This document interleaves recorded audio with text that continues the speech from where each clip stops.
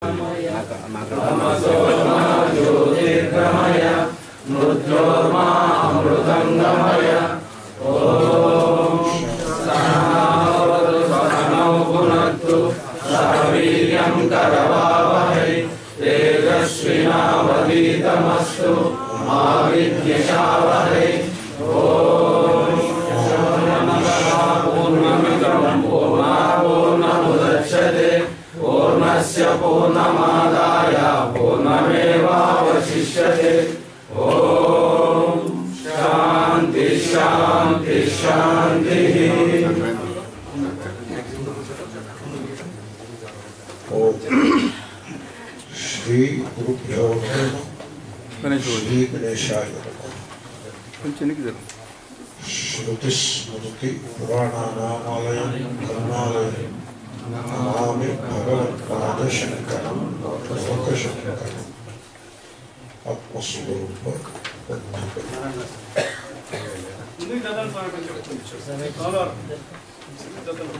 ముందుకు నేర్ లేదు బ్యాలెన్స్ లేదు. మనం తొమ్మిది శ్లోకాలు పూర్తి చేసినాం పదవ శ్లోకం. ఇవన్నీ కూడా వైరాగ్యాన్ని బోధించే శ్లోకాలు సమాజంలో ఉండే మనుషుల ప్రవర్తనను చూసి వాళ్ళని నిరసిస్తూ మట్టికాయలు వేస్తూ చెప్తున్న శ్లోకాల్లాగా అనిపిస్తాయి యవ్వనంలో ఉన్నప్పుడు మనిషి చాలా పొగరుగా ఉంటాడు. యవ్వనంలో అంటే వయస్సులో ఉన్న వాళ్ళకు పురుషులు కానీ స్త్రీలు కానీ వాళ్ళకి పెద్ద వయస్సు వచ్చిన వాడి కష్టం వాళ్ళకి అర్థం కాదు. పెద్ద అన్ని సమస్యలు పాత అంబాసిడర్ కార్ని ఎప్పుడైనా చూసారా పాత ఇప్పుడు ఇప్పుడు కనపడడం మానేసే రోడ్ల మీద. నిన్న మొన్నటి దాకా తిరుగుతూ ఉంటుంది ఇండియాలో. పాత ఓల్డ్ అంబాసిడర్ కార్. ఆ కార్లో ప్రతి పార్టు గడగడ చౌటి చేస్తూ ఉంటుంది. ఒక్క హార్న్ తప్ప. హార్న్ సరిగ్గా పనిచేయదు. అది తప్ప. హార్న్ ఎంత నొక్కినా కుయి కాయ అందవు అది తప్ప మిగతా పాటలన్నీ కూడా గడగడ సౌండ్లు చేస్తూ ఉంటాయి ఈ పెద్ద వయసు వచ్చిన వాళ్ళకు కూడా అంతే. లేస్తే మోగాళ్ళు కటకట అంటే ఇంకా అలా మొదలుపెట్టి అన్ని సౌండ్లు మొత్తం బాడీ అంతా సౌండ్లు చేస్తూ ఉంటాయి పార్ట్లన్నీ కూడా లూజ్ లూజ్గా ఉంటాయి. అంబాసిడర్ పాత అంబాసిడర్ కార్లాగా అయినా ఆ కారు కూడా ఇలా ఇలా ఊగుకుంటూ ముందుకు పోతూ ఉంటుంది. పాత అంబాసిడర్ కారు ఆరు డైరెక్షన్లలో కదులుతుంది. అది. కాబట్టి? సిక్స్ డైరెక్షన్స్లో ముందుకు పోతూ ఉంటుంది అది. ఈ బాడీ ఈ పెద్ద వయసు వాళ్ళు అలా ఉంటారు. వాళ్ళకు ఉండేటువంటి ఇష్యూస్ ఈ యు- ఉన్న వాళ్ళకి అర్థం కాదు. అంచేతనే యవనంలో ఉన్నవాళ్ళు చాలా సంవేదన కలిగి చాలా సెన్సిటివ్గా ఉన్నప్పుడు మాత్రమే పెద్దవాళ్ళకు ఉండే ఇబ్బందుల్ని అర్థం చేసుకోగలుగుతారు. అంచేతనే మీరు గమనించారో లేదో యవనంలో ఉన్నవాళ్ళు పెద్దవాళ్ళని చూసి ఆ ముసలాయన ముసిల్ది ఇలాగా నిరా నిరాశతో అంటే నిస్స తీసి తీసి పారవేసే విధంగా మాట్లాడుతూ ఉంటారు. యవనంలో ఉన్నవాళ్ళు అలా ఉంటారు. అలా ఉండకండిగా మీ పెద్ద మీ ఎవరో ఎంతో కాలం మీతో పాటు ఉండదు మీరు కూడా అక్కడికే చేరుకుంటారు. ఒళ్ళు దగ్గర పెట్టుకుని ఉండండి అని శంకర్లు చెప్తున్నారు. వయసి గతే కహ్ కామ వికార శుష్కే నీరే కహ్ కాసార క్షీణే విత్తే కః పరివారः జ్ఞాతే తత్వే కः సంసారः ఇవన్నీ ప్రశ్నలు కానీ ప్రశ్నలు సమాధానాన్ని కోరే ప్రశ్నలు కావు. నెగిటివ్గా చెప్పి ప్రశ్నలు. ఎలాగంటే "ఆ, ఇప్పుడు నేను ఎక్కడికి వస్తాను? అన్నాను అనుకోండి. అది సమాధానాన్ని కోరే ప్రశ్న కాదు అది. దాని అర్థం ఏంటి? నేను అక్కడికి రాను. నేను ఇప్పుడు ఏం తింటాననుకుంటున్నావు నువ్వు? అంటే దాని అర్థం నేనేమి తిన్నాను అలాంటి ప్రశ్నలు ఓకే? ఇప్పుడు కామ వికారము ఇప్పుడు యువకులు యువతులు ఉన్నారనుకోండి ఒకళ్ళనొకళ్ళు అలా చూపు చూసుకుంటూ ఆకర్షణ చేసే ప్రయత్నంలో ఉంటారు. అది ఎవరి యొక్క లక్షణం అది దాంట్లో మనం తప్పు పట్టేసి ఊరికే స్కాండలైజ్ చేసేసి ప్రయత్నం చేయకూడదు. అది పెద్ద మనం సమర్పించుకోదు అది మనం అర్థం చేసుకుంటాం మీకు ఒక కథ చెప్తా. ఒక ఆయన ఓ మహాత్ముడు నడిచి వెళ్తున్నాడు. కొంచెం ఉద్యానవనము అలాగే ఏకాంత స్థానము ఎవళ్ళు జనం ఎవళ్ళు లేరు. ఆయన మామూలుగా నడుచుకుంటూ పోతున్నాడు. ఫుట్పాత్ ఒకటి నడిచిపోతూ ఉంటే ఆ పక్కనే ఒక పెద్ద పూల మొక్క పెద్ద మొక్కలాగా పూల కింద ఉంటుంది కదా. దాని పక్కన కూర్చుని ఒక యువకుడు యువతి ఒక పక్కన ఒక దగ్గరగా కూర్చుని గుసగుసలాడుకుంటూ ఏదో మాట్లాడుకుంటూ లేకుండా ఉంటారు. ఈ లోపల పెద్ద ఆయన చూస్తున్నాడు కథ పట్టుకుని టక్ టక్ ఆ అమ్మాయి ఏ అమ్మాయి? మాట్లాడుతాం ఆయన పెద్ద ఆయన వస్తున్నాడు. అని ఆ అమ్మాయి ఈ యంగ్ మ్యాన్ హెచ్చరిస్తుంది. హెచ్చరించేప్పటికి వెంటనే పాపం ఈ పెద్ద ఆయన అది వింటాడు. విని వెంటనే మనస్సులో కష్టపడతాడు. అయ్యో పాపం. వాళ్ళు యువ యువతుడు యువకుడు యువతి. వాళ్ళు ఏదో ప్రేమగా పక్క పక్కన కూర్చుని కబుర్లు ఆడుకుంటూ ఉంటే నేను అడ్డు ఎంత? అయ్యో అని అనుకుని వెంటనే కళ్ళు గుడ్డివాళ్ళలాగా నటిస్తూ ప్రకటన నడుస్తూ. అప్పుడు ఆ యువత యువకుడు అంటాడే కంగారు ముసలాయన కళ్ళు కనపడం నువ్వేమీ అని ఆ యువకుడు ఆమెను సముదాయానికి ప్రయత్నం చేస్తాడు. ఆ విధంగా ఆయన టక్ టక్ అని అలా కళ్ళు మూసుకొని ఆ పొద్దు దాటి వరకు కళ్ళు మూసుకుంటూ ఆ కర్రను కొట్టుకుంటూ వెళ్ళిపోయి ఆ తర్వాత మామూలుగా నడిచి వెళ్ళిపోతాడు. అంటే ఆయన అభిప్రాయం ఏమిటి? ఆ యువకుడు యువతి వాళ్ళు పరస్పరము ప్రేమ ఆకర్షణలో ఉన్నప్పుడు వాళ్ళ మనస్సుకు మనం కష్టం కలిగించకూడదు నా పెద్ద ఆయన యొక్క అభిప్రాయం. ఆ పెద్ద ఆయన ఎవరో తెలుసా మీకు?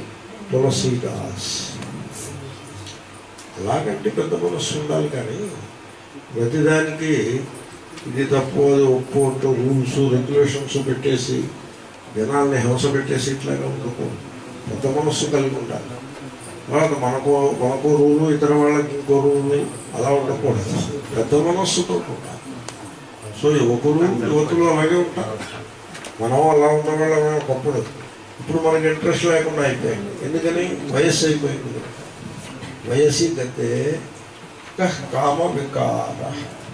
వయస్సు అయిపోయిన తర్వాత ఆకర్షణ. పురుషులకు స్త్రీ ఎడల స్త్రీకి పురుషుని ఎడల ఇంకా ఆకర్షణ ఏముంటుంది? ఏమీ ఉంటుంది కాబట్టి యవ్వనంలో ఉన్నప్పుడు ఈ పరస్పర ఆకర్షణ ఈ బయలాజికల్ అట్రాక్షన్ అంటారే దాని గురించి అంత కంగారు పడకుండా దానికోసం అంత పొగరుగా ఉండొద్దు.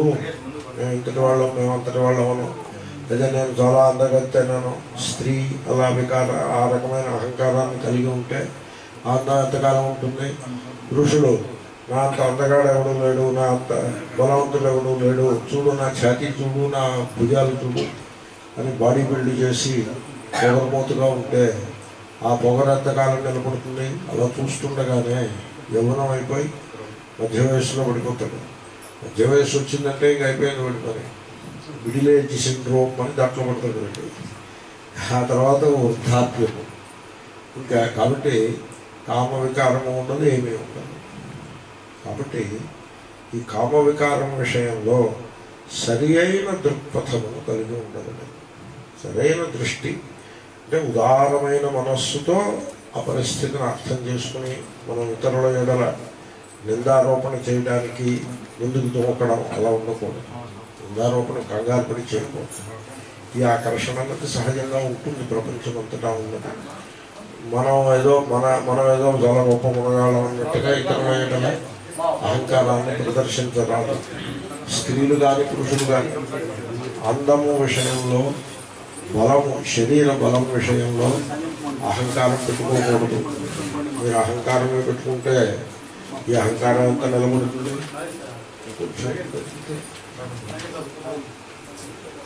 ఇంకా ఇక్కడికి రావచ్చు. మీరు ఆ గోడకు కూర్చో. నేను కూర్చున్నట్టుగా దీనికి కొంచెం దగ్గర పెట్టుకోండి ఆ, ఎప్పుడు బాగా అప్పుడు సంతోషం.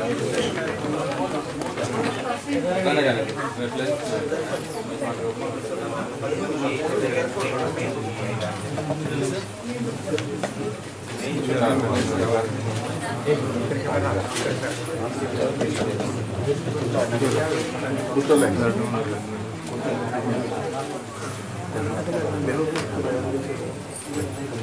వయస్సుకితే కహ్ కామ వికార అది అర్థం చేసుకోవాలి కామ వికారము అంటే స్త్రీలకు పురుషులకు పరస్పరము ఉండే ఆకర్షణ దానికి సంబంధించిన వ్యవహారం అంతా కూడా లవ్ ఈ సినిమాలన్నీ పెట్టుకుంటే రెండు ఉంటాయి సినిమాలో రెండే ఐటమ్స్ ఉంటాయి ఇండియన్ టాలీవుడ్ బాలీవుడ్ ఆ సినిమాలో రెండే ఐటమ్స్ ఉంటాయి నాకు తెలిసి నేను మధ్యన సినిమా సంభోగము సంఘర్షణ సంభోగం అంటే డ్యాన్స్ ప్రేమ ఇదైతే అదైన వెంటనే? కొట్లాట కొట్లాట అయిన వెంటనే? డ్యూయట్. డ్యూయట్ అయిన వెంటనే? మళ్ళీ కొట్లాట కొట్లాట అయిన వెంటనే? డ్యూయట్. ఈ లోపల సినిమా పూర్తుంది సి- అన్ని సినిమాలు అదే ఫార్ములా. అన్ని సినిమాలు ఒకటే ఫార్ములా. ట్రయాంగిల్. ఇద్దరు పురుషులు ఒక స్త్రీ. యుద్ధం ప్రారంభం. అలా ఉంటుంది. ఈ కామ వికారములు ఎంతకాలం ఉంటాయనుకుంటున్నారు అలా కొద్ది రోజులు ఉంటాయి. కొంతకాలం ఉంటుంది. కొన్ని సంవత్సరాలు. ఆ తర్వాత పోతుంది. దీనికి ఒక దృష్టాంతం చెప్తున్నారు శంకరులు. క్షీణే నీరే కహ్ కాసార శుష్కే నీరే కహ్ కాసార కాసారం అంటే చెరువు. ఇప్పుడు రాయలసీమలో చెరువులు వర్షకాలంలో చెరువులు. వేసవికాలంలో? చెరువు కాదు అక్కడ చెరువు. నీరు ఉంటే చెరువు. నీరంతా ఎండిపోతుంది. ఉంటే ఇలాగ కొంచెం బలంగా ఉంది కాబట్టి చెరువు ఏమో అని మనం అనుకోవాలంటే అక్కడ చెరువు ఉండదు. మన ఇండియాలో చెరువులో ఇల్లు కట్టేస్తారు. హైదరాబాద్లో మసాబ్ ట్యాంక్ అని ఉంది. మసాబ్ ఇది ఉందూనే ట్యాంక్ అంటే చెరువు. నేను అక్కడికి వెళ్ళి ఇక్కడ చెరువు ఎక్కడ ఉండాలండి అని అడిగాను. చెరువు ఏమీ లేదని నేను చెప్పాను. ఏమైపోయిందండి? చెరువు ఉండేది కదా. అంటే నిజాం కాలంలో ఉండేది కదా మరి ఇప్పుడు ఎక్కడికైనా పారిపోతుంది. ఉంటుంది అక్కడ. అంటే ఆ బిల్డింగ్స్ అన్ని చూపించి ఇవన్నీ చెరువులో కట్టిన బిల్డింగ్సే.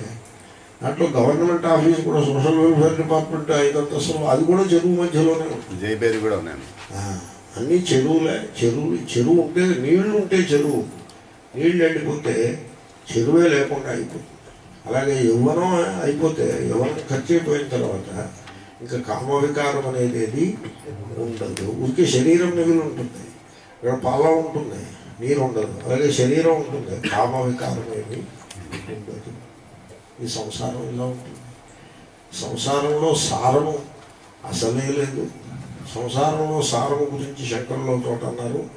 అరటి బోధలో శక్తి స్ట్రెంగ్త్ ఎంత ఉంటుందో సంసారంలో సారం ఉంటుంది అరటి బోధలు నాలుగు పెట్టి పైన రూఫ్ వేస్తే ఏమవుతుంది? ఆ రూఫ్ కుప్పకూడదు. ఈ సంసారం కూడా అటు అరటి బోధి వంటిది. కదళీ స్తంభవత్ అసార సంసార. సంసారము అరటి బోధి వలె నిస్సారము. కాబట్టి ఆ సంసార జీవనంలో ప్రాపంచిక జీవనంలో ఒక అంశాన్ని హైలైట్ చేసి ఈ అంశం విషయంలో నువ్వు ఊరికే అహంకారం పెట్టుకోగా అది కొద్ది రోజులు ఉంటుంది పోతున్నది వేసవి కాలం వస్తే చెరువులు ఎండిపోయినట్టుగా అయిపోతారు జనులు కూడా. కాబట్టి దాని విషయంలో పెద్ద గొప్పగా ఏమీ ఉండాల్సింది లేదు. వయసి గతే కః కామ వికార శుష్కే నీరే కః కాసార. ఇక పరివారము. పరివారం అంటే ఫ్యామిలీ. ఏమంటే ఈ ఫ్యామిలీ అంటే చూడండి నేను నా భార్య నా పిల్లలు మా అత్తగారు మామగారు తల్లి తండ్రి కొడుకులు కోడళ్ళు కూతుళ్ళు అల్లుళ్ళు మనవాళ్ళు మనవరాళ్ళు బావమరుదులు ఒకళ్ళు ఇద్దరు వాళ్ళు కూడా ఉంటారు బావమరుదులు అంటే అసలు సంసారం వీడి పరివారం పూర్తి కాదు. బావమరుదు బ్రదర్లా ఉండేదేనా? సో వీళ్ళందరూ వీళ్ళందరూ ఎప్పుడు ఉంటారండి ఎప్పుడు ఉంటారో చెప్పుంటారా మీరు బాగా ఇబ్బడి ముబ్బడిగా డబ్బు సంపాదిస్తూ ఇంటి నిండా విశాలమైన ఇల్లు ఒకటి పెట్టి ఆ కిచెన్లో మంచి సామాగ్రి అంతా పడేసి ఒక కుక్కుని అక్కడ ఎంప్లాయ్ చేసి వెచ్చాలు దండిగా పడేసి ఆ కిచెన్లో కూర వంటలో అవి చేస్తూ కాఫీలు టీలు టిఫిన్లు అవి తయారు చేస్తుంటే వీళ్ళందరూ ఉంటారు. సపోజ్ మీరు జీతం మీరు డబ్బు సంపాదించడం తగ్గించారనుకోండి కుక్కుకి మీరు జీతం ఇవ్వడం మానేశారనుకోండి వాడు రావడం మానేస్తాడు కొట్టులో అప్పించేవాడు బెచ్చాలు ఇవ్వడం మానేస్తాడు కిచెన్ ఉంటుంది తప్ప గిన్నెలో డబ్బాల్లో ఏమీ వస్తువులు ఏమి ఉండవు. ఉండే కుక్కు ఉండడు. ఎవరికి వాళ్ళే వండుకు తినాలి. అదే కాఫీ కాచుకు తాగాలి. కాఫీ పౌడర్ ఉండదు. లేకపోతే షుగర్ ఉండదు. మిల్క్ ఉండదు. అప్పుడు ఈ బంధువులందరూ ఏమవుతారు? ఒకళ్ళ దారి ఒకళ్ళ తర్వాత వాళ్ళు వాళ్ళ దారి వాళ్ళు చూసుకుంటారు. మా అల్లుడు పాపం డబ్బు సంపాదన లేకుండా ఇబ్బంది పడుతున్నాడు. మనం అతన్ని ఏం బాధపెడతాం అని అత్తగారు మామగారు తప్పుకుంటారు. తల్లి తండ్రి పొందే వీడు పాపం కష్టంలో ఉన్నాడు. పెద్ద కొడుకు రెండో కొడుకు బాగా సంపాదిస్తున్నాడు. పెద్ద కూతురు దగ్గరకు వాళ్ళు నిష్క్రమిస్తారు. కొడుకులు కోడళ్ళు మన వాళ్ళు ఇక్కడ ఉంటే మనకి రోజు గడిచి ఇట్లా లేదని వాళ్ళు నిష్క్రమిస్తారు. కూతుళ్ళు వాళ్ళు కూడా అయ్యో పాపం మా నాన్న కష్టపడుతున్నాడని వాళ్ళు పక్కకి తప్పుకుంటారు. బాగా సంపదలో ఉన్నప్పుడే భావమరుదులు ఉంటారు. సంపద తగ్గిపోతే భావమరుదులు పోతారు వీడు వీడి భార్య మిగిలి ఉంటారు. కొంతకాలానికి సంపాదన లేని మొగుడితో కాపురం చేయడం కంటే గోతులో దిగడం మంచిదని ఆవిడ కూడా లేచకుండా అప్పుడు వీడు ఒక్కడు మిగులుతాడు ఈ సంసారం అలా ఉంటుంది. లాల్ బహదూర్ శాస్త్రి గారు చెప్పారు. ఆయన ప్రైమ్ మినిస్టర్గా ప్రమాణ స్వీకారం చేసిన మొన్నాడు పొద్దున్న ఆయనకి ఇంతమంది బంధువులు ఉన్నారనే సంగతి కొత్తగా ఆయనకు అర్థం. ఆయన అనుకున్నాడు నాకు ఐదుగురు ఆరుగురు బంధువులు ఉన్నారని అనుకున్నాడు. ప్రైమ్ మినిస్టర్ ప్రమాణ స్వీకారం చేసిన వన్ వీక్ అయ్యేప్పటికీ వంద రెండు వందలు మూడు వందలు నాలుగు వందల మంది బంధువులు ఉన్నట్లు తెలియదు. ఇంతమంది బంధువులు ఉన్నారా నాకు? అని ఆయన ఆశ్చర్యపోయారు. ఆ మాట చెప్పారు కూడా ఆయన. ప్రమాణ స్వీకారం అయిన తర్వాత ఇంతమంది బంధువులు సమాజంలో ఉన్నట్లు నాకు తెలిసింది. అంతకుముందు ఏమీ లేదు దీని మీద వేమన గారు సుమతి శతకాలలో పద్యం చెప్పాడు వర్షాలు పడి చెరువు నిండా నీరున్నప్పుడు కప్పలు లెక్క పెక్కల నీరు ఎండిపోగానే కప్పలు ఏమైపోతాయో తెలియదు అన్నీ తమ దారి తాము చూసుకుని ఎక్కడికో పోతాయి కాబట్టి సంసారము అలాంటిది డబ్బే లేకపోతే ఈ పరివారం బంధువులు వీళ్ళందరూ ఎక్కడ ఉంటారు ఉండనే ఉంటారు అంటే వైరాగ్యం కోసం అలా చెప్తున్నారు. ఇక జ్ఞాతే తత్వే సంసార చూడండి తత్వజ్ఞానం అని ఉంటుంది. ఆత్మతత్వము తెలియట అని ఉంటుంది తప్ప ఈశ్వరుడు తెలియట అంటే ఏముండదు ఈశ్వరుణ్ణి భక్తి చేస్తారు ఆత్మస్వరూపాన్ని తెలుసుకుంటారు. ఈశ్వరుణ్ణి తెలుసుకోవడం అంటూ ఉండదు ఆత్మస్వరూపం ఏడల భక్తి చేయడం అంటూ ఉండదు. ఓకే? ఇక భాషలాగా ఈశ్వరుని దర్శించడం అన్నా ఆత్మస్వరూపమును తెలియట అన్నా ఒక్కటే. భాషే మారింది. కనుక ఆ ఆత్మతత్వము తెలుసున్నట్లయితే సంసార బంధం అనేది పటాపంచలైపోతుంది. అది ఉండనే ఉండదు. ఇది నేను చాలాసార్లు చెప్పాను. ఎన్నిసార్లు చెప్పినా మళ్ళీ అలా చెప్తూ ఉండడం అది. ఏమిటంటే మీకు జీవితంలో దుఃఖానుభవం వస్తు కలుగుతూ ఉంటుంది. దుఃఖం అనుభవానికి వస్తుంది భయము కూడా అనుభవానికి వస్తుంది ఇది ఈ దుఃఖము ఈ భయము అనుభవానికి ఎందుకు వస్తున్నాయంటే మీరు అజ్ఞానం చేత అనేక కారణాలను వెతుక్కుంటూ ఉంటారు. ఇదంతా అజ్ఞానమే. ఈ దుఃఖము భయము ఇవి అనుభవానికి రావడానికి ఒకే ఒక కారణము అజ్ఞానం.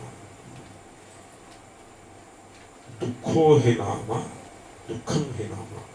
ఏష ప్రజ్ఞాపరాధ అనో సూత్రం ఒకటి ఉంది ఎవడైనా దుఃఖిస్తున్నాడు అంటే వాడి అవగాహనలో అండర్స్టాండింగ్ ప్రజ్ఞ అంటే వాడు తెలుసుకున్న దానిలో ఏదో వెలికి లోటు గలదు అందుకోసం దుఃఖిస్తున్నాడు ఇప్పుడు ఏదైనా పరీక్ష ఫెయిల్ అయి దుఃఖిస్తున్నాడు అనుకోండి వాడికి జీవితం యొక్క రహస్యం వాడికి అర్థం కాలేదు వాడికి తెలియక దుఃఖిస్తున్నాడు ఎందుకంటే పరీక్ష ఫెయిల్ అవడం అంటే అర్థం ఏంటి వాడు ఏ దారిలో ముందుకు వెళ్దాం అనుకున్నాడు జీవితంలో ఆ తలుపు మూసేశారు అని అర్థం.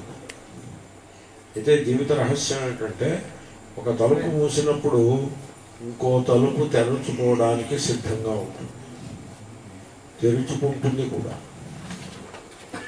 ఆ సంగతి వీడికి తెలియదు.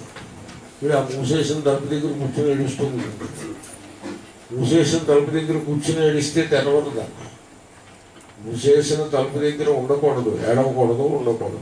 అక్కడి నుంచి యువతలకు వచ్చేసి తల తిప్పి ఇంకో వైపు చూసి ఇంకేదైనా తలుపు తెరుచుకుందా చూడాలి. అది తెరుచుకుంటుంది. ఆ దిశలో వెళ్ళాలి. కాబట్టి మనకి జీవితం నేర్పిన సత్యం ఏమిటంటే ఈ తలుపు ఈ దారి నాకు కాదు అని జీవితం నేర్పిన సత్యం. అది నేర్చుకుంటే నా దారి ఇది అది కాదు. పుల్లారెడ్డి గారు నాకు ఒక కథ చెప్పారు. నేనంటే చాలా ప్రేమగా ఉండేవారు ఆయన. ఆయన ఇప్పుడు పోయారు నేను ఆయన ఆయనతో నాకు స్నేహం ఉందని చెప్తే గొప్పగా అనిపించవచ్చు. బట్ ఆయన జీవించున్నప్పుడు నేను క్లోజ్గా వెలిగివ్వండి ఆయనతోటి సో ఆయన నేను కలిసి కార్లో కూర్చొని ఎక్కడెక్కడికో ప్రయాణాలు అవి చేస్తూ ఉండేవాడు నాగర్ కర్నూలు ఇక్కడేవో విశ్వ హిందూ పరిషత్తు ఆ, అనాథ శరణాలయంలో విధులు అక్కడికి వెళ్ళినప్పుడు కలిసి వెళ్ళేవాడు అలాంటి సందర్భంలో ఏవో చెప్తూ ఉండేవారు. ఆయన అన్నారు నా జీవితంలో నాకు కలిగిన గొప్ప అదృష్టం మెట్రిక్ పరీక్ష ఫెయిల్ అవుట ఆయన మెట్రిక్ పెట్ట ఆయన మావ మావయ్య గారి ఇంట్లో ఉండేవారు. తండ్రి ఉండేవారు కాదు. తల్లితోటి మావయ్య అంటే తల్లి తల్లి సోదరుడు. ఆయన సపోర్ట్ చేస్తూ ఉండేవారు. పేద కుటుంబం.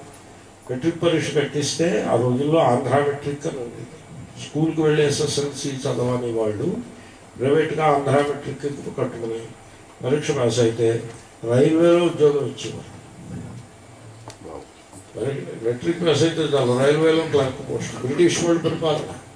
కర్నూలు రైల్వే స్టేషన్లోనో లేకపోతే పక్కన ఏదో రైల్వే స్టేషన్లో చిన్న పెద్ద క్లర్క్ పోవడం బాగా వాళ్ళకి అవసరం ఉండేది ఆ విధంగా.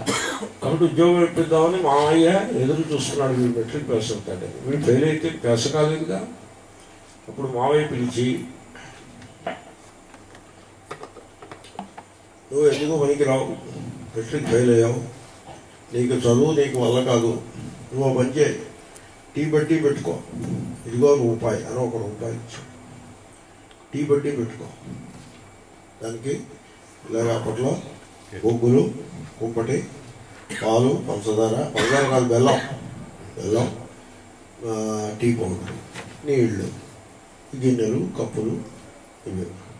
రూపాయి రూపాయికి అన్నీ వచ్చేస్తాయి. అది పెట్టుకుని అక్కడ గవర్నమెంట్ ఆఫీస్ కర్నూలు రాజధానిగా ఉండేది ఆంధ్రప్రదేశ్. హైదరాబాద్ తర్వాత ఆ గవర్నమెంట్ ఆఫీస్ ముందు కూర్చుని చాయ్ తయారు చేసేసి ఆ ఉద్యోగస్తులకి టీ బ్రేక్ ఉంటుంది. అప్పుడు టీ పట్టుకెళ్ళి ఇచ్చేవారు. ఫస్ట్ క్లాస్ టీ తయారు చేసి ఇచ్చేవారు. టీ తాగిన వాడే పొలారెడ్డి స్వీట్ టీ చాలా బాగా చేస్తున్నాడు రాని ఎదురు చూసి ఇట్లా వారం రోజులు పట్టుకెళ్ళి ఇచ్చాడు అందరికీ. అనా అనాయో అర్థమే తీసుకుంది. ఆ తర్వాత ఇంకా వెళ్ళడం మానేసి చెట్టు కిందే ఉండిపోయాడు. అప్పుడు లోపల ఉండే క్లర్కులు ఉద్యోగస్తులనే ఈ పొలారిటీ టీ పట్టుకురాలేదు ఇటు టైం అయిపోయింది. చూద్దాం ఇంకో ఐదు నిమిషాలు. ఆలస్యం అలా చూసి పావు గంట అయినా పట్టుకురాకపోతే ఇటువే వీడు టీ పట్టుకురాలేదని వీళ్ళందరూ బయటకు వచ్చారు. అక్కడ చెట్టు కింద ఉన్నాడు. ఎలా టీ ఎందుకు పట్టుకురాలేదంటే నేను పట్టుకురాలేకపోతున్నానండి మీరే దయచేసి వచ్చి తీసుకోండి అని చెప్పాడు.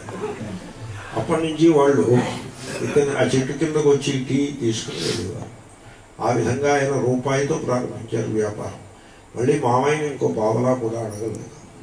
ఆ రూపాయి మీద ఓ పావలా లాభం సంపాదించి ఆ క్లర్క్ దగ్గర దగ్గర రూపాయి అప్పు తీసుకుని మీరు టీ తాగండి ఓ రూపాయి నాకు అడ్వాన్స్ ఇవ్వండి తీసుకుని మొత్తానికి ఆయన బిల్డప్ బిల్డప్ చేశారు బిజినెస్. ఆ తర్వాత నేతి మిఠాయి. ఆయన చెప్పిన ఫార్ములా ఏమిటంటే నెయ్యిలో కానీ మిఠాయి వస్తువుల్లో కానీ క్వాలిటీ ఎట్టి పరిస్థితుల్లోనూ కాంప్రమైజ్ చేయడానికి వీలు లేదు. పెర్ఫెక్ట్ గుడ్ క్వాలిటీ పదార్థం తయారు చేసి ఇవ్వాల్సిందే. లాభం తక్కువ వచ్చినా పర్వాలేదు అనే ప్రిన్సిపల్ మీద మొదలుపెట్టారు వ్యాపారం. ఇప్పటికే అలాగే నడుస్తూ ఉంటుంది కాబట్టి మెట్రిక్ ఫెయిల్ అవ్వడం అది శాపమా వరమా? వరం కాబట్టి జీవితంలో వాడు దుఃఖిస్తూ కూర్చున్నాడంటే మనిషి వాడికి జీవిత రహస్యం అర్థం కాదు. దుఃఖిస్తున్నాడంటే వాడి జ్ఞానము కొరబడినది జ్ఞానము కలిగితే సంసారము ఉండదు దుఃఖము ఉండదు భయము ఉండదు. భయపడుతున్నారంటే అర్థం అంటే తెలుసునండి. మూర్ఖంగా ఉన్నారని అర్థం. ఇప్పుడు మీరు ఆలోచించండి సడన్గా పాము కనపడింది అనుకోండి పాము కనపడితే అక్కడ ఇబ్బంది ఏమైనా సమస్య ఏమైనా ఉందా? ఏమీ లేదు. దెర్ ఇస్ నో ప్రాబ్లం ఎందుకని? మీరు జాగ్రత్తగా గమ్మున వెనక్కి అడుగు వేస్తారు. అందరికీ ఏ ఇక్కడ బాగుందిరా రాకండి అలా అలా అని అందరినీ హెచ్చరిక చేస్తారు. ఒక కర్ర పట్టుకుంటారు. దాన్ని చంపే ప్రయత్నం చేస్తారు. లేకపోతే ఫోన్ చేసి పావులు పట్టి వాడిని పిలుస్తారు. వాడు వస్తాడు పట్టుకుని పోతాడు. సమస్య ఉంది సమస్య లేదు.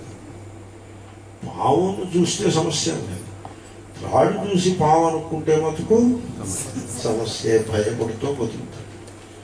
కాబట్టి ఆత్మతత్వం నా స్వరూపం ఇట్టిది అని తెలియకపోవడం చేతనే మనిషి దుఃఖిస్తూ తన స్వరూపము తెలిసింది అంటే అదేం అదేమీ అంత కఠినమైన విషయం కాదు. ఒకసారి తన స్వరూపాన్ని తాను పరికించి చూసుకుంటే తెలుస్తుందండి. మీ గురించి మీరు తెలుసుకోవడమేగా? ఎక్కడో వైకుంఠంలో ఉన్న దేవుడి గురించి తెలుసుకోవడం అంటే మీరేం తెలుసుకుంటారు. మీ హృదయంలో ఉన్న మీ శక్తిని మీరు తెలుసుకోవడం. మీ హృదయంలో ఉండే ఆనందాన్ని మీరు గుర్తుపట్టడం. మీ స్వరూపాన్ని మీరు తెలుసుకోవడం. అంత పని మీరు చేసేస్తే ఈ సంసార బంధం నుండి మీరు విముక్తులైపోతారు. మీరు ఆరాధించే దేవుడు వాస్తవంలో మీ ఆత్మస్వరూపం కంటే భిన్నంగా లేడు. తమ వివేకానంద అన్నాడు తన తెలియక ఆత్మస్వరూపము కంటే భిన్నంగా లేడు ఈశ్వరుడు అనే సంగతి తెలియక బయట ఈశ్వరుణ్ణి మనిషి ఆరాధిస్తూ ఉంటాడు. తెలియని ఆత్మయే ఈశ్వరుడుగా ఆరాధింపబడుతూ ఉంటుంది. ఓకే? తెలిసిన ఈశ్వరుడే ఆత్మరూపంగా వెలుగొందుతాడు. అర్థమైందండి? తెలియకపోతే ఆత్మతత్వము తెలియకపోతే తనకంటే భిన్నంగా ఈశ్వరుడు. ఈశ్వరుడు సరిగ్గా తెలిస్తే తన స్వరూపమే ఆత్మయే. కాబట్టి తనలో దైవీ శక్తి కలదు అని గుర్తించిన మానవుడు సంసార బంధమును అనుభవించవలసిన అవసరమే ఉండదు. జ్ఞాతే తత్వే కస్సంసార తత్వమే తెలిసిన నాడు ఇంకా సంసారమేమి మిగిలి ఉంటుంది. అంటే సంసారం అనేది బంధం అనేది మిగిలి ఉండదు. ఆత్మతత్వము తెలిసిన వాడు జీవన్ముక్తుడై విరాజిల్లును మంచి శ్లోకం. ఉసారందాము వయసి గతే కామవికార శుష్కే నీరే కాసార క్షీణే విత్తే కః పరివార జ్ఞాతే తత్వే కः సంసార ఇది ఎంత నీరసపడిపోయింది సడన్గా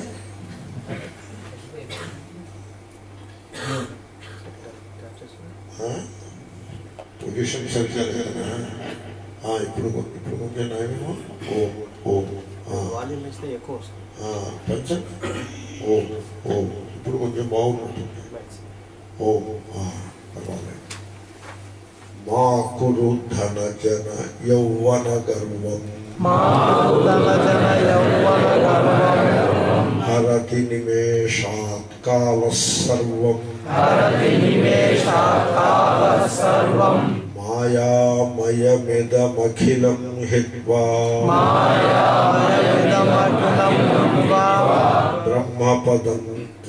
ప్రవిశ విదిత్వా గర్వమును చేయకుము మా కురు గర్వం. గర్వమును కలిగి ఉండవద్దు. గర్వం మూడు రకాలుగా ఉంటుంది. ధన గర్వము జన గర్వము యౌవన గర్వము ధన గర్వము అంటే డబ్బు బాగా ఉన్నప్పుడు ఉండే పొగరు గర్వం. రిచ్ మ్యాన్ అని అంటారు. రిచ్ మ్యాన్ మనకి రిచ్ మ్యాన్ అంటే మనకేం ద్వేషమేం లేదు. కానీ రిచ్ మ్యాన్ అనేది ఎవరో ఒకళ్ళని ఉద్దేశించి మనం మాట్లాడుతున్నది కాదు. ఆ రిచ్ మ్యాన్ అనే ఒక మనిషి ఆ మనిషి అలాగా ఉంటాడు రిచ్ మ్యాన్ ధనవంతుడు వాడి స్వభావాన్ని మనం అర్థం చేసుకోవాలి. ఆ ధనవంతుడు ఎలా ఉంటాడు? తెలుసుకున్నట్లయితే ఒకప్పుడు మనకి ధనం వచ్చినా కూడా మనం అటువంటి పొరపాటు చేయకుండా ఉంటాం. రిచ్ మ్యాన్కి ఈ జగత్తు మీద ఒక దృష్టి ఉంటుంది. ప్రపంచాన్ని గురించి ఒక దృష్టి ఉంటుంది. రిచ్ మ్యాన్ అనుకుంటాడు డబ్బుతో దేన్నైనా కొనవచ్చు అనుకుంటాడు. అంటే కోటీశ్వరుడు అనుకుంటాడంటే డబ్బుతో ఏదైనా కొనవచ్చును అనుకుంటాడు. అలాంటి అజ్ఞానంలో ఉంటాడు. మీరు చూడండి డబ్బుతో మందు కొనగలరు కానీ ఆరోగ్యాన్ని కొనలేరు. అది రిచ్మ్యాన్కి తెలియదు. అది అనుకుంటాడు అది డబ్బు ఉంది కదా? నేను ఎలా ఉన్నా పర్వాలేదు. ఒకవేళ ఆరోగ్యం తేడా వచ్చినట్లయితే డాక్టర్లు పది మంది డాక్టర్లనే పెట్టుకోగలుగుతాను డాక్టర్లను కొంటాడు మందు కొంటాడు కానీ ఆరోగ్యాన్ని కొనడం సాధ్యం కాదు. ఆ సంగతి రిచ్ మ్యాన్కి తెలియదు. అంటే రిచ్ మ్యాన్ యొక్క దృష్టి ఎంత ఇన్కంప్లీట్గా ఉంటుందో మీకు చెప్తున్నా. తర్వాత రిచ్ మ్యాన్ నౌకర్లని పెట్టుకోగలుగుతాడు. వాళ్ళ లాయల్టీని కొనలేడు. మీరు డబ్బు ఖర్చు పెట్టి నౌకర్ని పెట్టుకోగలుగుతారు. కానీ నౌకర్ని కొనగలుగుతారు. కానీ నౌకర్ యొక్క లాయల్టీ దాన్ని మీరు కొనలేరు. నౌకర్ లాయల్టీ కొనాలంటే మీరు ప్రేమతో కొనగలుగుతారు కానీ డబ్బుతో కొన్నారు నేను ఇంకో వంద రూపాయలు ఎక్కువ మారేస్తా నాకు లాయల్గా ఉండు. అంటే వాడు సరే అంటాడు కానీ ఉంటాడు డబ్బుతోటి మీరు లాయల్టీ కొనలేరు. నౌకర్లను పెట్టుకోవచ్చు. లాయల్టీ కొనాలంటే ప్రేమ చూపించాలి. ప్రేమతో కనుక మీరు నౌకర్ని చూసినట్లయితే వీడు రిచ్ మ్యాన్ ధనాన్ని కోల్పోయినా నౌకరు వాడిని విడిచిపెట్టకుండా కాపాడుతాడు. లాయల్టీ అది ధనంతో కొనేది కాదు. అలాగే ఈ విధంగా రిచ్ మ్యాన్ సో భోగభాగ్యములను కొనగలుగుతాడు. కానీ ప్రేమను ఆరోగ్యమును కొనలేడు. ప్రేమను కొనలేడు. ఖరీదైన వస్తువులను కొనగలుగుతాడు కానీ ప్రేమను కొనలేడు.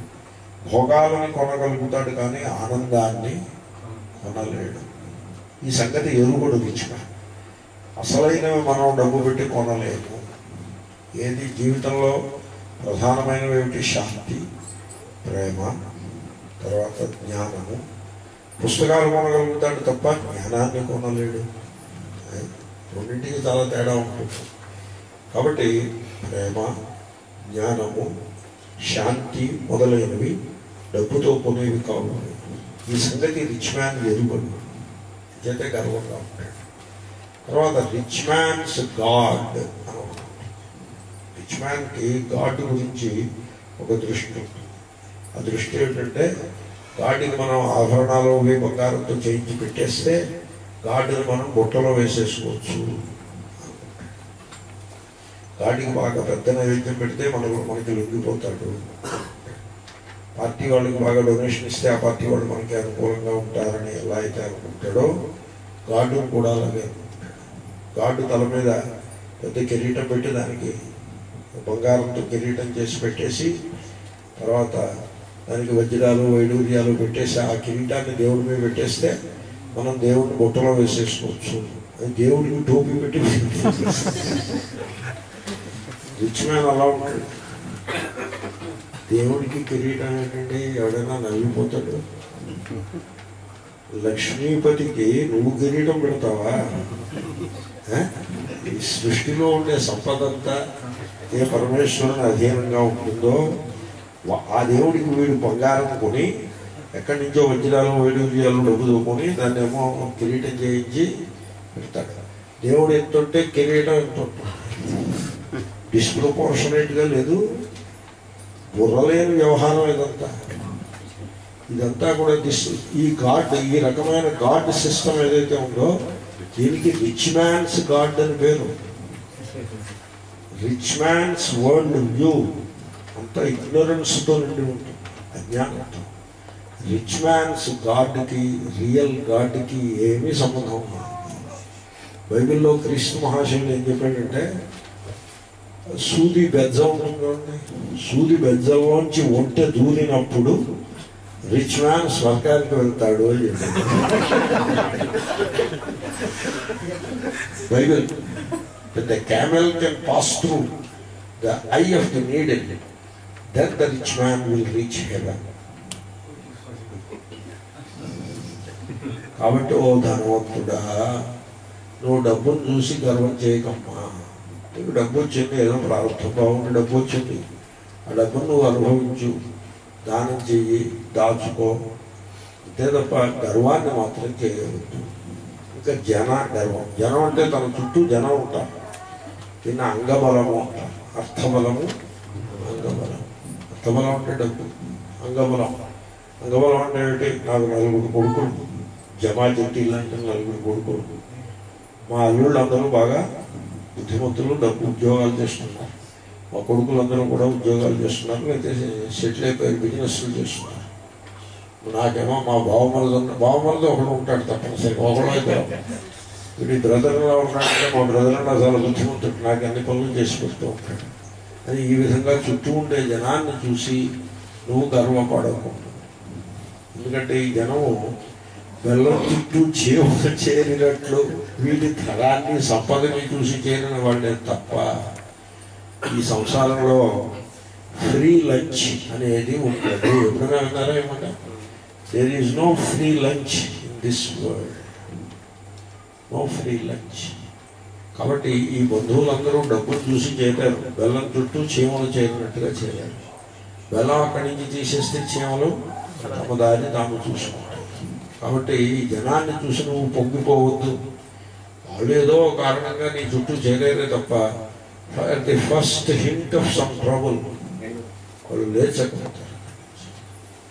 కాబట్టి జన గర్వము తర్వాత యవ్వన గర్వము నేను వయస్సులో ఉన్నాను పురుషుడు కానీ స్త్రీ కానీ ఇప్పుడు అత్తగారు పెద్ద ఆమె ఒక మూల కూర్చుని ఉంటే ఈ పడుచు కోడలు అత్తగారిని నిరసిస్తుంది ఆ కూర్చోమా అలా మూల పడి నిరసిస్తుంది అది యవ్వనం యొక్క గర్వం. కానీ ఒక సామెత కలదు అత్త ఒక ఇంటి నేను ఒక అమ్మగారిని చూశాను ఆమె యవ్వనంలో ఉన్నప్పుడు అత్తగారిని నిరసించింది. ఆ తర్వాత అత్తగారు పోయారు. ఈమె కొడుకు పెద్దవాడయ్యాడు. ఆ కొడుకు అమ్మాయిని వెళ్ళాడు ఆ అమ్మాయి ఈవిడ్ని నిరసించడం ప్రారంభించింది. అప్పుడు స్వామీజీ ఈ కోడల పిల్ల ఇలా నిరసిస్తోంది అంటే చూడమ్మా అత్త ఒకటి కోడలే అవునా కదా అంటే అవును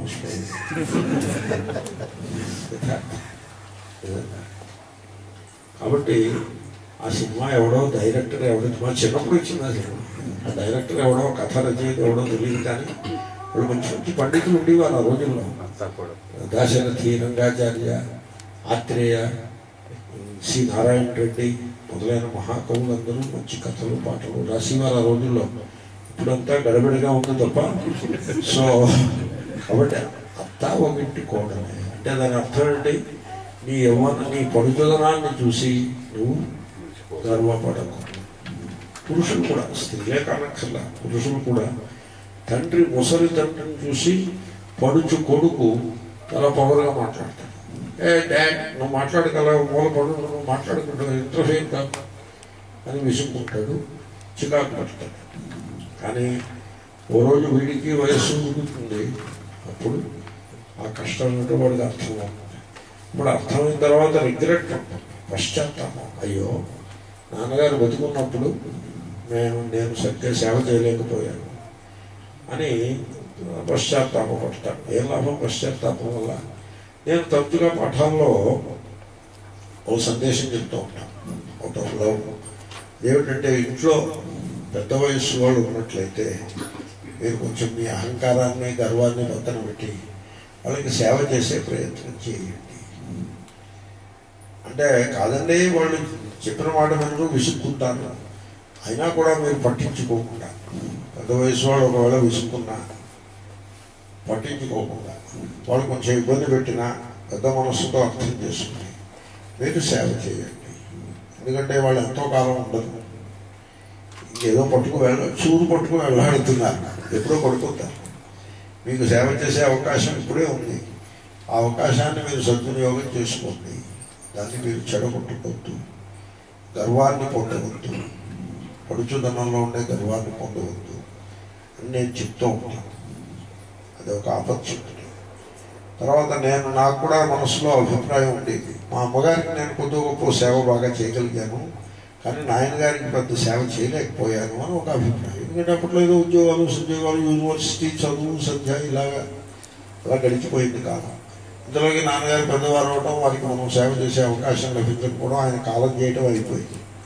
కాబట్టి అది నా మనసులో అలా ఉండిపోయింది. అందుకోసమే నేను ఏం చేస్తూ ఉంటానంటే వాళ్ళైనా పెద్ద వయస్సు వాళ్ళు కష్టపడుతూ ఉంటే నేను సపోర్ట్ చేసే ప్రయత్నం చేస్తాను. కష్టపడకండి మీకు నేను సపోర్ట్ చేస్తాను. పెద్ద వయస్సు. ఎవరైనా సరే ఎటువంటి సందర్భంలోనైనా సరే సపోర్ట్ అంటే అన్ని సందర్భాల్లోనూ డబ్బు ఇవ్వడమే కాదు. ఒకప్పుడు చేపట్టుకు తీసుకెళ్ళాల్సి ఉంటుంది. ఒకప్పుడు డాక్టర్ దగ్గరికి తీసుకెళ్ళాల్సి ఉంటుంది. ఒకప్పుడు మందు కొని ఇవ్వాల్సి ఉంటుంది. ఏ సందర్భానికి తగ్గట్టుగా ఆ సందర్భంలో పెద్దవాళ్ళకి మనం ఏదైనా సేవ చేసి ప్రయత్నం చేయడము ఇది నా వంటి వాడే చేసినప్పుడు మీరందరూ యువకులు మీరు చేయడానికి సమస్య ఉంటుంది. తర్వాత నేను స్త్రీలకి చెప్తూ ఉంటాను ఇంట్లో అత్తగారు కానీ మామగారు కానీ తల్లి కానీ తండ్రి కానీ వాళ్ళ పెద్ద వయస్సుని గుర్తించి వాళ్ళు ఏదైనా కొంచెం చికాకు పడే లక్షణము అర్థం చేసుకోవడం తక్కువగా ఉంటుంది. గమ్ముని తెలుసుకోరు. ఇబ్బంది పడతారు. అవన్నిటినీ కూడా పెద్ద మనస్సుతో మీరు క్షమించి అర్థం చేసుకుని వారు చికాకు పడ్డారు కాబట్టి మీరు చికాకు పడకుండా సహనంతో ఔదార్యంతో మీరు సేవ చేయండి. మీకు భగవంతుడు అవకాశం ఇచ్చాడు. పెద్దవాళ్ళు పక్కన ఉండడం అదొక అవకాశం. అవకాశాన్ని దారం విడిచిపోకండి ఎవరు విడుచుకున్నారా మీరు జీవితంలో చాలా విలువైన ధర్మాన్ని విలువైన తత్వాన్ని మీరు పోగొట్టుకున్నవారు అవుతారు. కాబట్టి యవ్వన గర్వాన్ని ఎన్నడూ కలిగి ఉండవద్దు. ఎందుకో తెలుసు? హరతి నిమేషాత్ కాల సర్వం కాల సర్వభక్షక అని సామెత సంస్కృతం. కాలం అన్నింటినీ మింగేస్తుంది అందరినీ మింగేస్తుంది.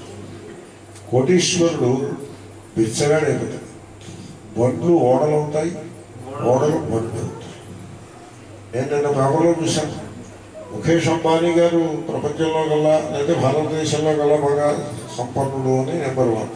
కానీ ఆయన తమ్ముడు అనిల్ అంబానీ ఆయన బ్యాంక్రప్ట్ అవ్వడానికి సిద్ధంగా ఉందని పేపర్లో వేశారు ఒక వ్యక్తి గురించి నేను అట్లా పేపర్లో చదివిన మాట మీకు చెప్తాను బ్యాంక్రప్ట్ సీక్ పోతుంది బ్యాంక్రప్ట్స్ అంటే దివాలా దివాలా వైపు నడుస్తోంది. ఆయన వాతావరణం ఏం బాగులేదు. ముఖేష్ అంబానీ గారు ఏమైనా చక్రం అడ్డు వేస్తాడా వేడా అంటూ పేపర్లలో అప్పుడే ఊహాగానాలు రాసేస్తున్నారు. అంటే ఏంటి మనం చూస్తుండగానే కాలము సర్వమును కూడా భక్షించి ఇక యవ్వనం ఎంతకాలం ఉంటుందండి? అలా చూస్తుండగానే ఎండలో పెట్టిన మంచుగడ్డ వలె యవ్వనము కరిగిపోతుంది. మంచుగడ్డ కరిగింది స్లోగా కరిగిపోతుంది. మీరు కనపడదు కరుగుతున్నట్టుగా కనపడదు కానీ కరిగిపోతుంది. ఆ విధంగానే యవ్వనము కూడా మనం చూస్తుండగానే కరిగిపోతుంది. కాబట్టి కాలము సర్వమును జనులను నా చుట్టూ పది మంది ఉన్నారు అని మీరు గర్వపడుతుండగానే ఒకళ్ళ తర్వాత ఒకళ్ళు ఒకళ్ళ తర్వాత ఒకళ్ళు లేచకపోతారు. లేకపోతే కొంతమంది దేహత్యాగమే ప్రాణమే పోయి ఎక్కడికో స్వర్గానికి వెళ్ళిపోతారు. వీడు ఒంటరిగా మిగులుతాడు చిన్నప్పుడు మనం ఎవరితోటి ప్రేమగా మెలిగినామో వాళ్ళందరూ కాలగర్భంలో కలిసిపోయినారు. ఎవరు లేరు. తల్లిదండ్రులు లేరు. మనం హై స్కూల్లో కలిసి చదువుకున్న మిత్రుల్లో కొంతమంది అప్పుడే కాలం చేసేసారు మనకి పాఠం చెప్పిన స్కూల్ మాస్టర్లు వాళ్ళందరూ కూడా కాలం చేసేసారు యూనివర్సిటీ ప్రొఫెసర్లు చదువుకున్న ప్రొఫెసర్లు వాళ్ళందరూ కూడా కాలం చేసేసారు మా చిన్నప్పుడు అదిగో అక్కడ పచారీ గుట్లో ఆయన ఉండేవాడు. ఆయన చక్కగా ప్రేమగా బెల్లముక్క పెట్టేవాడు. షాపుకు వెళ్ళినప్పుడల్లా అని అనుకుందుకు ఆయన కాలం చేసేసాడు. గ్రామానికి వెళ్తే మనకు తెలుసున్న వాళ్ళు ఒక్కడు లేదు. మేము అద్దె సైకిల్ తీసుకునేవాళ్ళం. నేను ఒకసారి గ్రామానికి వెళ్ళి ఎప్పుడు అద్దె సైకిల్ తీసుకునేవాళ్ళం. అతని దగ్గర. ఏమంటే అద్దె సైకిల్ అతను ఉన్నాడంటే ఆయన ఎప్పుడో పోయాడండి ఏం చెప్పారు అందరినీ మింగేసింది కాలం ఇప్పుడు ఉన్నవాళ్ళు మనకి ఎవరు తెలియదు. సో ఈ కాలము కాల సర్వభక్షక కాలం యొక్క మహిమను మీరు గుర్తుపట్టండి. గర్వమును చేయకుడు ఎట్టి పరిస్థితులలోనైనా సరే. తర్వాత చూడండి మీ ఎదురుకుండా జగత్తు గలదు.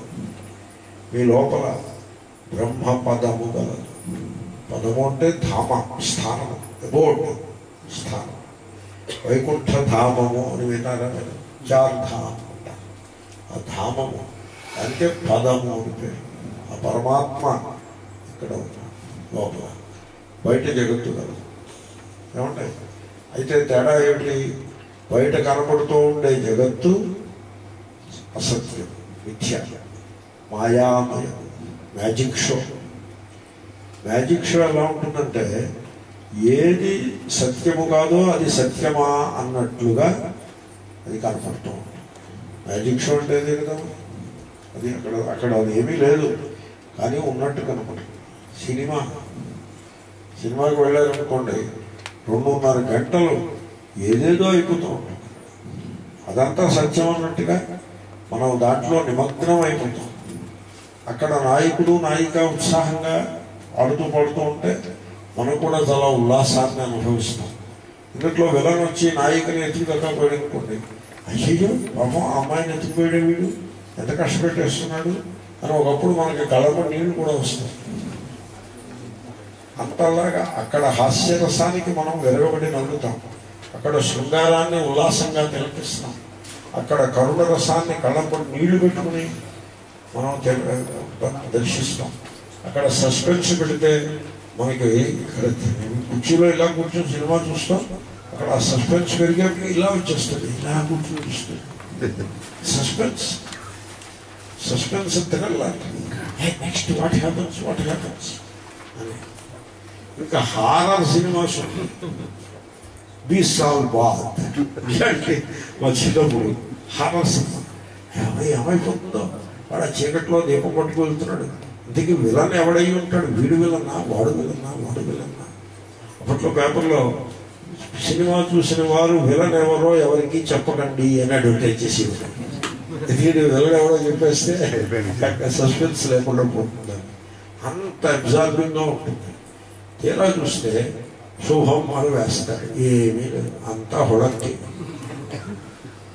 అంతా కథ కట్టు కథ ఈ జీవితం అలాంటిది ఈ సంసారం అలాంటిది కానీ ఆ సంగతి మనకి తెలియదు మనం ఇదంతా సత్యం అనుకుంటాం ఇదంతా పెద్ద మాయ జగమే మాయ బ్రతుకే మాయ ఆయన మహాకవి రాశాడు ఆ పద్యం. సినిమా పాట కాబట్టి తక్కువ అని అనుకోకూడదు సినిమా పాట అయితేనేమి? జీవిత సత్యాన్ని ప్రకటించిన పాట. మాయామయమిదము జగ సాక్షిలం. జగత్తంతా కూడా మాయ. ఒక మ్యాజిక్ షో. ఒక దిఖావట్ అంటారు హిందీలో. ఇంకా కనపడిందే తప్ప ఉన్నది కాదు. ఉన్నదేదో ఇక్కడ ఉన్నది. ఆనందము ఇక్కడ ఉన్నది. సంతోషం ఇక్కడ శాంతి ఇక్కడ ఉన్నది.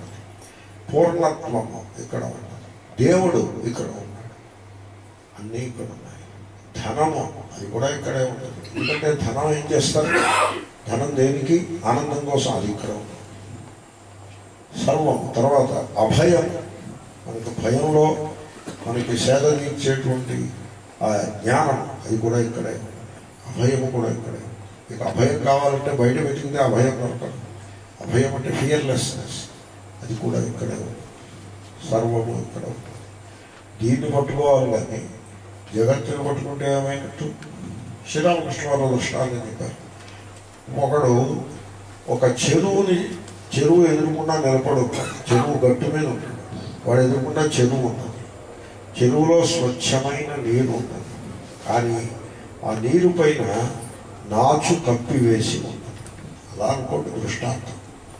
ఆ నాచు కింద చల్లని తీయని నీరు కలదు. వీడికి దాహం. వాడు ఆ చెరువుకేసి చూస్తూ అక్కడ నీరు ఉన్నదనే సత్యాన్ని గుర్తించక అటు తిరిగాడు. అటు తిరిగితే వాడు ఎదురుకుండా ఏముందో తెలిసిన ఎడారి కలదు. ఆ ఎడారిలో దూరంలో ఎండమావులు కనపడుతూ ఆ అవి నీళ్ళు అనుకుని ఆ నీళ్ళ కోసం పరిగెడతాడు ఈ చెరువుని విదిలిపెట్టి ఆ ఎండమావులలోని నీళ్ళ కోసం పరిగెడతాడు మనిషి. సంసారంలో అలా ఉంటారు ఇక్కడ ఉన్న బ్రహ్మపదమును విడిచిపెట్టి సంసారంలో ఏదో ఉంది అని పరుగులు తీస్తూ ఉంటారు ఎండమావుల వెంట పరిగెత్తిన వాడు పరిగెత్తి పరిగెత్తి అలసి సొలసి నీరు దొరక్క వీడు పరిగెట్టి కొలది ఆ మా- ఆ నీరు. అది అంతకంతకి వెనక్కి పోతూ ఉంటాం వీడు పరిగెడుతూ ఉంటాడు అంతకంతకి వెనక్కి పోతూ ఉంటాడు ఆఖరికి అలసి సొలసి దప్పికతో నేలని స్పృహ తప్పి ప్రాణాన్ని విడిచిపెడతాడు. మనం అలాగా ఈ సంసారంలో ఏదో ఉంది అని దాని వెంట పరుగులు తీసి అలసి సొలసి ప్రాణాలను విడిచిపెడుతూ ఉంటాం. మనుషులు అలా ఉంటారు? సంసారం అంటే పరిగెత్తడం మానేసి తన లోపల అంతర్ముఖుడై లోపల అన్వేషించినట్లయితే వాడికి బ్రహ్మపదమే వాడి కోసం ఎదురు చూస్తూ ఉన్నది. కాబట్టి నీవు ఈ సంసారం వంట పరుగులు మానేసి ఆ బ్రహ్మపదమును అన్వేషించి తెలుసుకో. మా కురు ధనజన యౌవన గర్వం హరతి నిమేషాత్ కాల సర్వం మాయామయమిదమఖిలం హిత్వా బ్రహ్మపదం త్వం ప్రవిశ విదిత్వా అక్కడ హిత్వా అంటే విడిచిపెట్టి త్యాగం విదిత్వ అంటే తెలుసుకొని జ్ఞానం సంసారము ఎడల త్యాగం ఆత్మస్వరూపము ఎడల జ్ఞానం త్యాగము జ్ఞానం ఈ రెండింటితోటి మీరు జీవన్ముక్తులు కాగలుగుతారు ఆఖరి శ్లోకం ఇదిగో ఇదిగో అంటూ ఆఖరి శ్లోకానికి వచ్చాడు దినయామిన్యౌ సాయం ప్రాత శిశిరవసంతౌ పునరాయాత. కాల క్రీడతి గచ్చత్యాయు తదపి నముంచత్యాశావాయు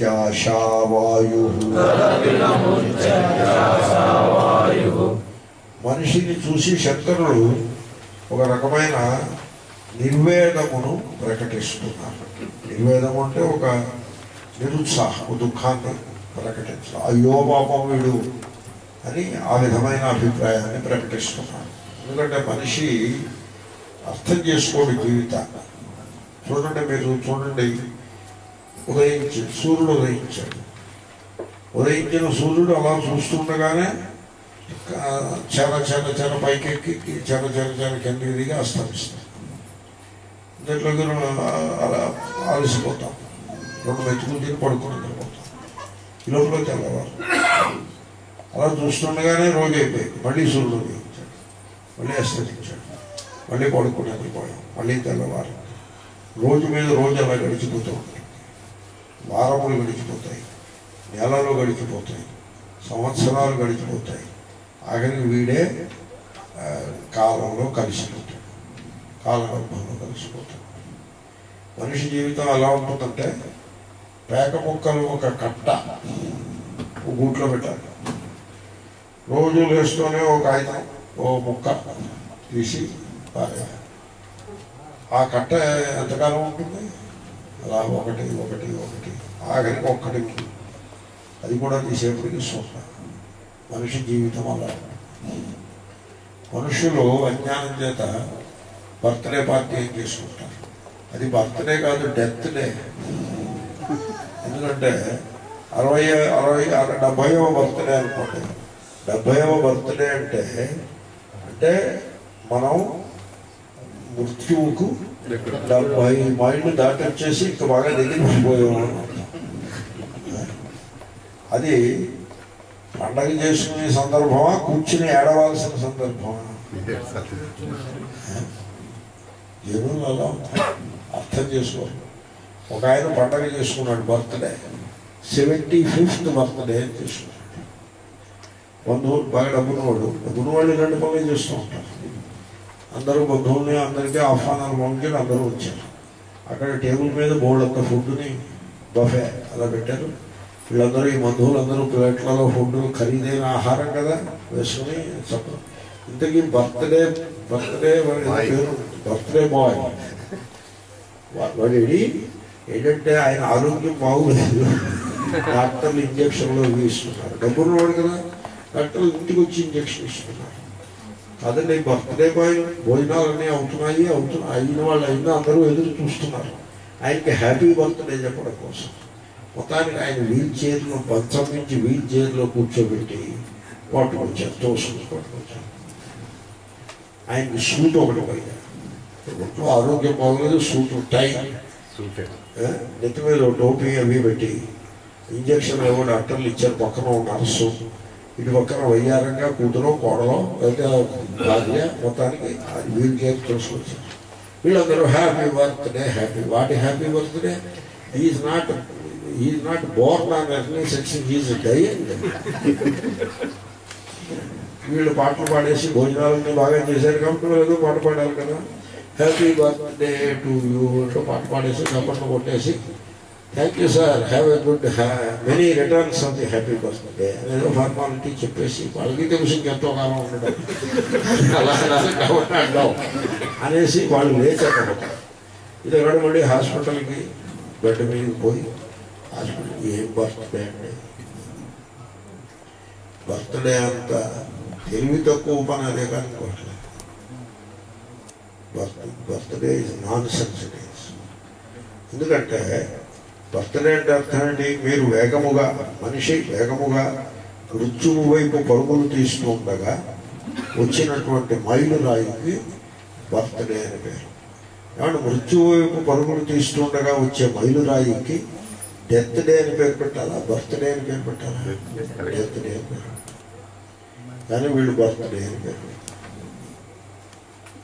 సో మనిషి తెలుసుకోడు. వేగముగా కాలం తిరిగిపోతూ ఉంటుంది. సో పొగలు రాత్రి పొగలు రాత్రి పొగలు రాత్రి. శీతకాలం వేసవికాలం. ఇప్పుడు శీతకాలం నడుస్తుంది. చూస్తుండగా వేసవికాలం వచ్చేస్తుంది. అయ్యో ఈ ఎండలో మండిపోతున్నాయని అనుకుంటూ అనుకుంటూ అపసోపాలు పడుతుండగానే మళ్ళీ శీతకాలం వచ్చేస్తుంది. మళ్ళీ శీతకాలం శీతకాలం అని కంగారు పడుతుండగా వేసవికాలం వచ్చేస్తుంది. ఇయర్స్ అప్పట్లో వై కే అని year two thousand Y K year two thousand వస్తే ఇంకా విమానాలు పైన కింద పడిపోతాయి కంప్యూటర్లు అన్నీ బంద్ అయిపోతాయి ఇంకా విమానంలోకి ఎక్కివాడు ఉండడు ఎక్కిన వాడు దిగడానికి ఉండదు తలుపులు మూసుకోవు మూసుకున్న తలుపులు తెరుచుకోవు అని అలా భయపెట్టేశారు. అప్పట్లో పంతొమ్మిది వందల తొంభై తొమ్మిది తొంభై ఎనిమిది. అప్పట్లో ఈ భయం అంతా అప్పట్లో నేను అమెరికా కెనడా నార్త్ అమెరికా అన్నీ కూడా కాలికి బలపం తిరుగుతూ ఉండేవాడిని ఆ రోజుల్లో అప్పుడు కొంచెం తగ్గించా ఏం తగ్గించినా ఇంకా తిరుగుతూనే ఉన్నాను కాబట్టి అప్పుడు చూసేవాడిని వైటుకే ఏమంటే స్వామి మీరు టూ థౌజండ్ నాటికి ఎక్కడ ఉంటారు? ఇంటి దగ్గర ఉండండి విమానంలో ఉంటే ఇంకా అది కింద పడిపోతే ఇవ్వండి విమానం అని ఇలాగా అంటూ ఉండేవారు. ఏం పర్వాలేదు అంటూ ఉన్నాను ఏమైపోయింది వైటుకే వచ్చింది. అంతా బాగానే ఉంది నడుస్తుంది టూ థౌజండ్ వన్ వచ్చిన తర్వాత అది అప్పుడే టూ థౌజండ్ వన్ వచ్చేసింది అని అనుకున్నాను. నాకు గుర్తు ఇప్పుడు టూ థౌజండ్ వన్ ఏమిటి? టూ థౌజండ్ ఎయిటీన్ ఉంటాయి ఇంకెంత? నాలుగు రోజులు. టూ థౌజండ్ నైన్టీన్ వచ్చేస్తుంది. చూస్తుండగానే అప్పుడే? టూ థౌజండ్ ట్వంటీ ఫైవ్ అని లెక్కలు వేస్తున్నారు అప్పుడే. కాలము మహావేగంగా తిరిగిపోతూ ఉంటుంది. కాలము మనతోటి ఆటలు ఆడుకుంటూ ఉంది సో ఎలక్కి పిల్లికి ప్రాణ ఏదో ఉంది ప్రాణ పిల్లికి చెలగాట. కాలానికి చెలగాటం మనకి ప్రాణ కాల క్రీడకి కాలము ఆటలాడుకుంటుంది మనతో. గచ్చతి ఆయు ఆయుర్దాయము కర్పూరంలాగా అలించిపోతాం అయుర్దాయం అయినా కూడా మనిషి తదపి నముంచత్యాశా వాయు ఆశ అనే ఆ శ్వాస శ్వాసలో ఆశ పెట్టుకుని ఉన్నాడు అసలు శ్రీరామకృష్ణ వారు దృష్టాంతం చెప్పారు. ఆయన పల్లెటూరులో పొలాల గిట్లో పట్టు నడిచి వెళ్తుంటే ఆయనకి అంతా కూడా వరి వరి తోట వరి చేయాలి కదా అక్కడ. వరి చేనులో నీటి చిన్న చిన్న కాలువలు అవి ఉంటాయి. పంట కాలువలు. వాటిలో బురద పాములు ఉంటాయి. అవేమి కరిజీవి పాములు కావు. ఓ బురద పాము నీటిలో ఉంటుంది అది. ఆ బురద పాముకి ఒక కప్ప దొరికింది. ఆ కప్పని పట్టింది. ఆయన వెళ్ళేప్పుడు చూశాడు అది ఆ కప్పతో కుస్తీ పడుతాం ఇంకా కప్ప బతికే ఉంది. ఈ లోపల ఆయన దాన్ని పరిశీలించారు ఆ కప్ప ఇంకా బతుకుంది. ఈ లోపల అక్కడ ఒక గడ్డి పురుగు ఇలా ఎగురుతుంది. ఈ పాము ఈ కప్పని మింగాలేదు కక్కాలేదు. అలాగే పాము సతమతం అవుతోంది ఈ కప్పతో కప్ప సగం బాము నోట్లో ఉంది అప్పుడే ఆ ఘాట్లు పడి ఉంది. ఇంకెంతో కాలం బతకదు. కానీ ఈ గడ్డి పురుగు ఎదురుతో ఉంటే ఈ కప్ప నాలిక చాచి గడ్డి పురుగు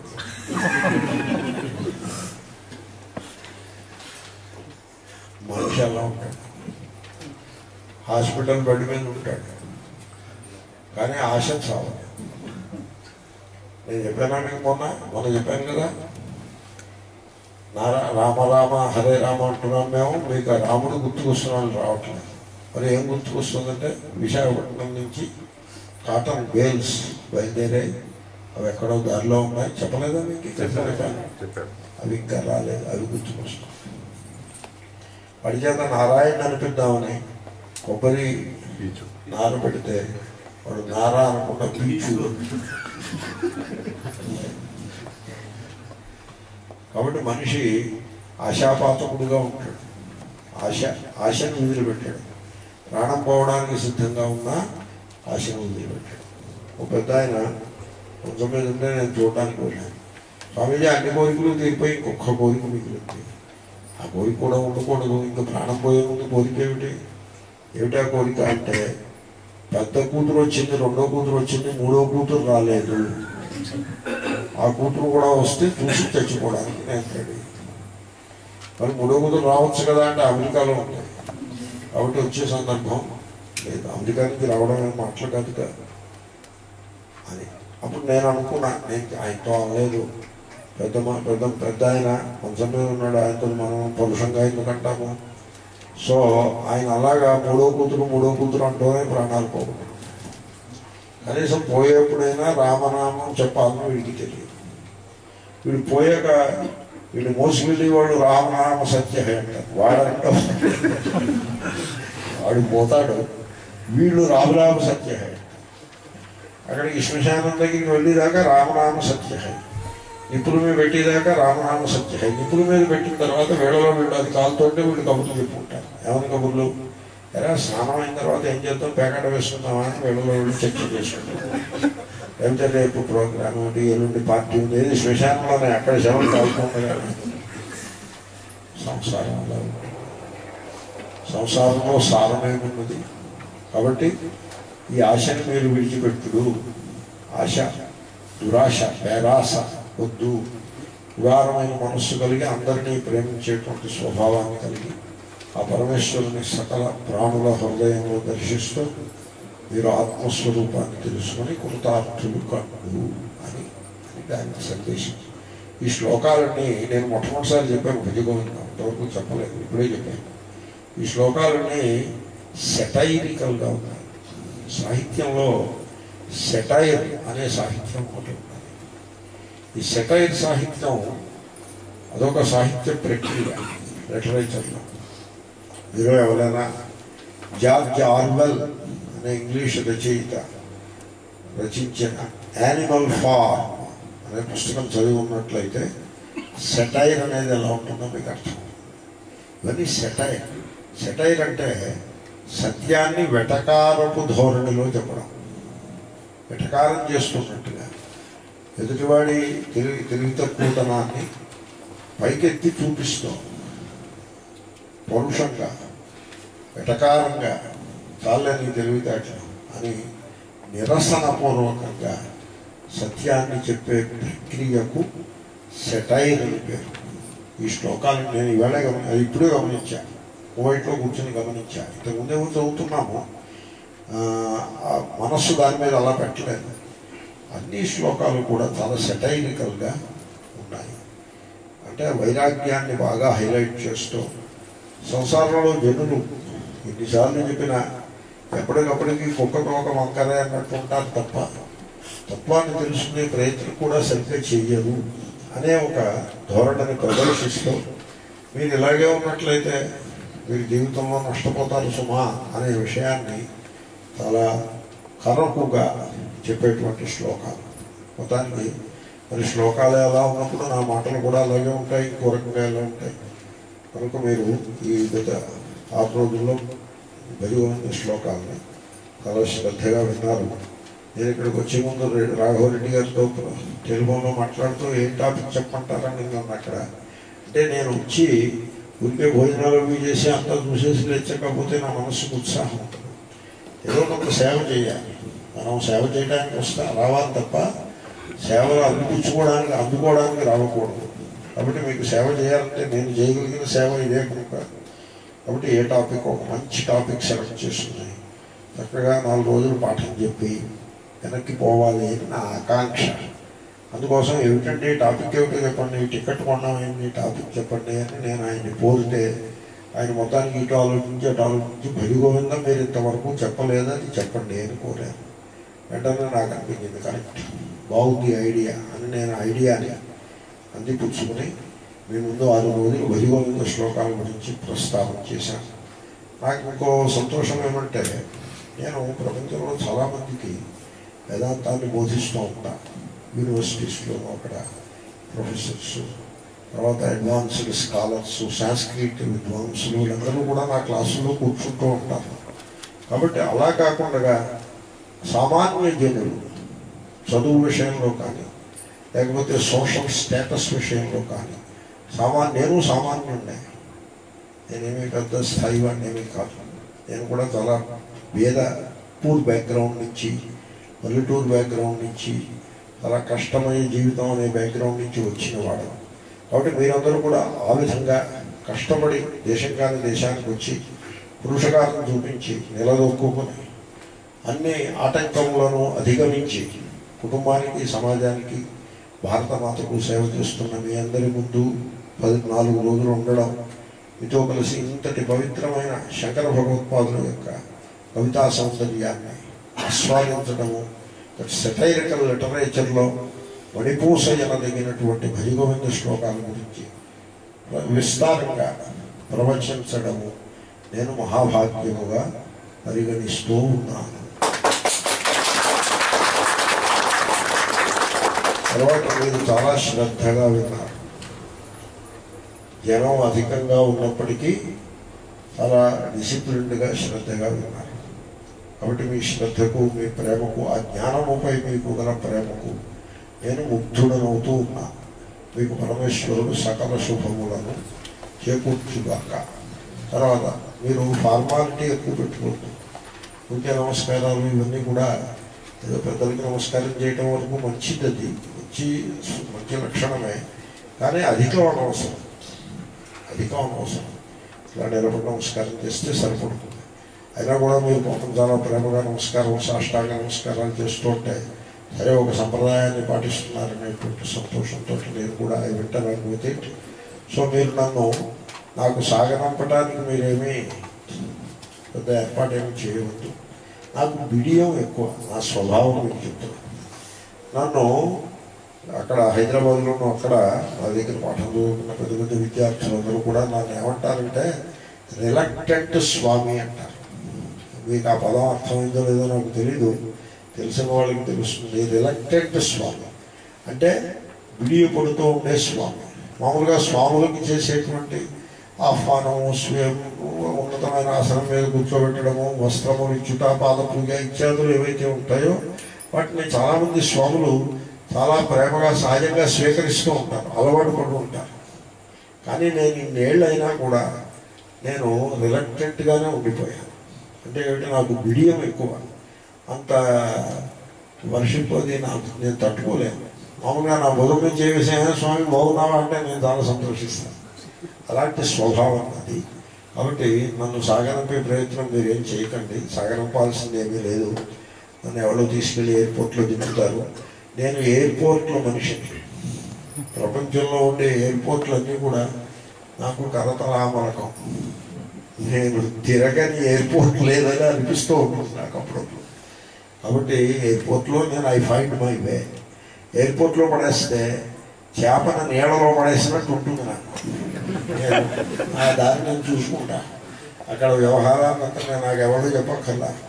నేను వాళ్ళకే చెప్తాక వస్తే ఒక నేను ఆ విమ- విమానం పట్టుకొని నేను ఎక్కేసిన దారిని నేను వెళ్తా. మళ్ళీ ఎప్పుడైనా భగవంతుడు అనుగ్రహించినప్పుడు మిమ్మల్ని అందరినీ దర్శిస్తాను మీ శ్రద్ధకు మీ ప్రేమకు మీ ఆతిథ్యములకు నేనంతయో కృతజ్ఞతను